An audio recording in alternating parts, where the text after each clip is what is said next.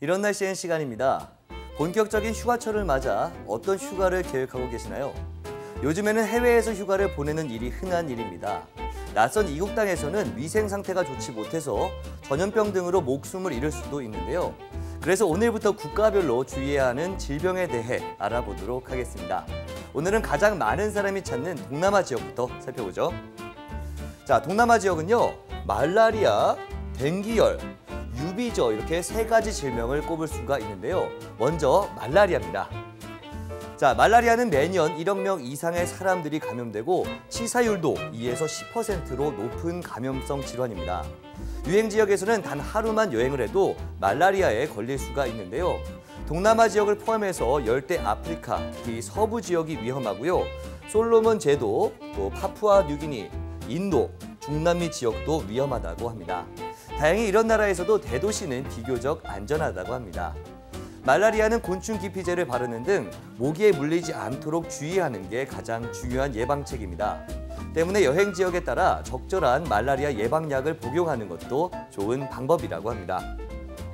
자, 두 번째 살펴보겠습니다. 바로 댕기열입니다. 댕기열 발생 환자는 해마다 늘어나고 있는데요. 모두 필리핀, 태국, 캄보디아 등 이 동남아시아를 다녀온 여행객들에게서 발생했습니다. 댕기열은 댕기 바이러스를 가진 모기에 의해 옮겨지는 병입니다. 문제는 아직 효과적인 백신이 없다는 것인데요. 이 댕기열을 예방하기 위해서는 말라리아와 같이 곤충 기피제 등을 사용해 모기에 물리지 않도록 해야 합니다. 백신은 없지만 발생 지역이 이 황열병 발생 지역과 겹치기 때문에 황열 백신을 필수적으로 접종받는 것이 좋다고 합니다. 자, 마지막 살펴보겠습니다. 마지막 바로 유비저입니다. 중견 탤런트 박용식 씨도 캄보디아에서 유비저균에 감염돼 사망하는 안타까운 소식이 전해졌는데요. 아직까지 백신이 없어서 치사율이 무려 40%나 된다고 합니다.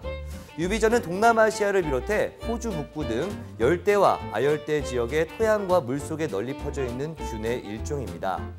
유비저에 감염된 물을 마시거나 상처를 통해 감염이 되는데요. 때문에 상처를 입은 손으로 흙을 만지거나 고인물을 마시는 것은 절대로 금물이라고 합니다. 특히 당뇨나 신부전 등 면역력이 떨어지는 이 질환을 가진 사람들은 조심 또 조심하는 것이 좋다고 합니다. 동남아 지역에 여행을 계획하는 분들 오늘 알려드린 정보 꼭 기억해 두시기 바랍니다. 지금까지 이런 날씨엔이었습니다.